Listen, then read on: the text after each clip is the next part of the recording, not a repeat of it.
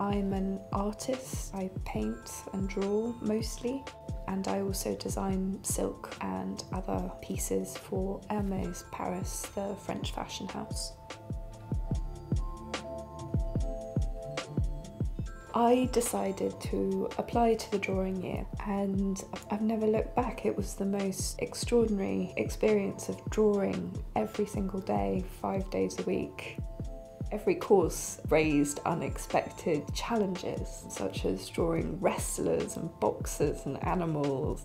It didn't matter if the drawings weren't good that day. It wasn't about getting an end result and a finished piece. This was about developing you as an artist because it, it was the best teaching I ever had. I think one of the most exceptional things I found was the sense of camaraderie. Everyone supports you and that support doesn't go away when you leave as an alumnus. You're also encouraged to become a member of the Young Artists Programme, teaching after school drawing clubs and then perhaps teaching on the foundation. You become a member of the school forever.